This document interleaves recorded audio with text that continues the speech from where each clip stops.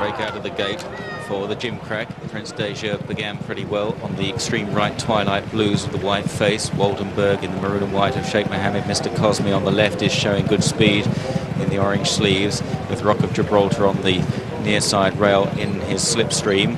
And Anna Warhol is also close up. They're followed in behind runners then by Sadad in the blue and white jacket pulling quite hard. Kulachi and Ho Choi towards the rear racing through the first quarter of mile or so and Twilight Blues Anna Warhan with Mr. Cosme on the near side and Rock of Gibraltar holding his position the fence.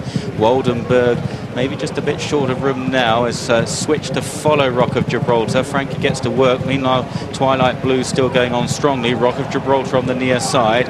Prince Deja on the extreme right. Sadad is coming with a run too. A furlong and a half left to go. And it's Rock of Gibraltar just hanging slightly off the fence. Sadad down the centre. Then Twilight Blues. Waldenberg is struggling to quicken. The nose banded Ho Choi running on. But it could be another for Ballydoyle here because Rock of Gibraltar is proving very hard to pass. And in fact, he's roaring right away like a smart two-year-old. Rock of Gibraltar wins the Gimcrack.